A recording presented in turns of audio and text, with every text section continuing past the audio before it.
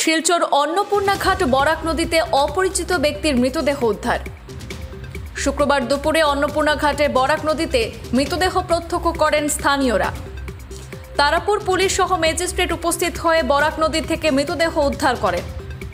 বর্তমানে মৃতদেহ ময়না তদন্তের জন্য শিলচর মেডিকেল কলেজ হাসপাতালে পাঠানো হয়েছে। শিলচর অন্নপূর্ণা ঘাট বরাক নদীতে অপরিচিত এক ব্যক্তির মৃতদেহ উদ্ধার হয়েছে। শুক্রবার দুপুরে শিলচর অন্নপূর্ণা ঘাট বরাক নদীতে অপরিচিত এক ব্যক্তির মৃতদেহ ভাসতে দেখেন স্থানীয়রা। সাথে সাথে খবর পাঠানো হয় তারাপুর আউটপোস্টে।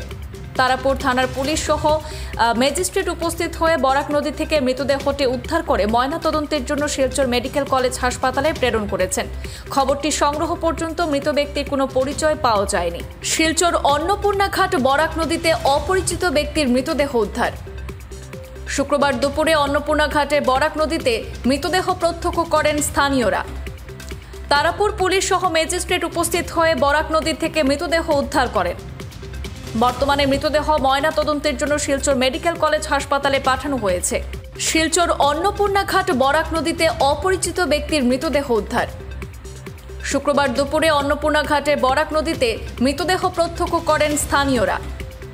তারাপুর পুলিশ সহ ম্যাজিস্ট্রেট উপস্থিত হয়ে বরাক নদী থেকে মৃতদেহ উদ্ধার করেন।